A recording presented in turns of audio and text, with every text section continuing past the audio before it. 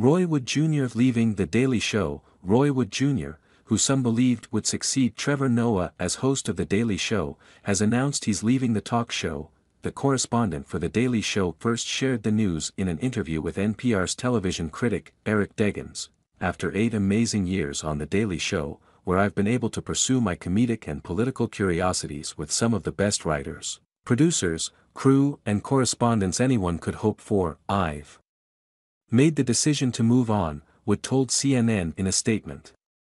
I'm grateful to Trevor Noah, Paramount and especially Comedy Central for giving me the runway to also produce three one-hour stand-up specials.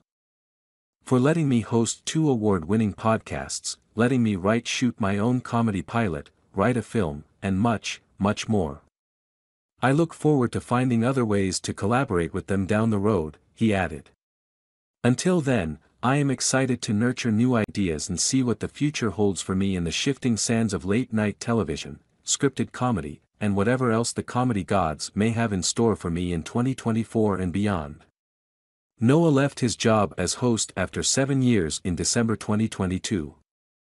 A parade of guest hosts have filled in since his departure, Wood spoke with CNN not long after Noah announced his departure. He shared his admiration for Noah and joked that when a replacement host was announced, he and the other correspondents would probably be the last to know.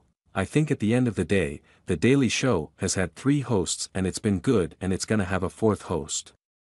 Wood told CNN at the time. It's gonna be good, whoever the hell is in the chair then. Wood served this year as the entertainer at the 2023 White House Correspondents' Dinner.